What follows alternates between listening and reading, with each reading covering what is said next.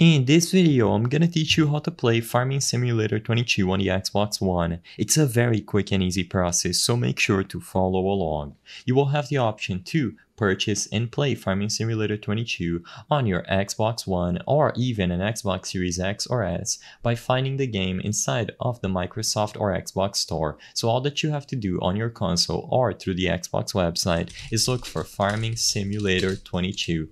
It should be the first result to pop up immediately. When you click Farming Simulator 22, you will see all the options that you have to play it. You can get it with Game Pass, so if you have Game Pass, it is going to be included so you can start downloading and playing right away. Since online multiplayer requires that you have an Xbox Game Pass subscription, you might as well just get it included with Game Pass if you are considering buying the game to play with your friends. This way, you will be able to play right away as long as you have a Game Pass subscription active. Or you can purchase the game for $49.99.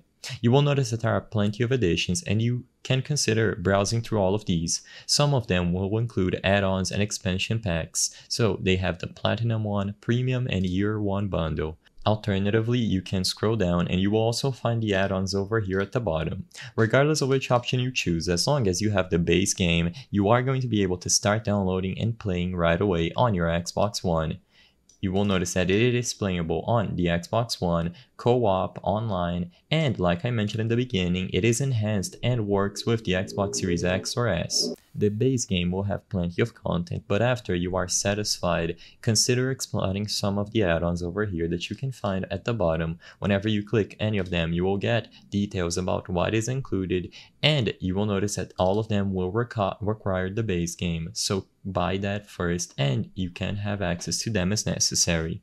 I hope I was able to help you on how to play Farming Simulator 22 on the Xbox One. If this video helped you, please be sure to leave a like and subscribe for more quick and easy tips. Thank you for watching.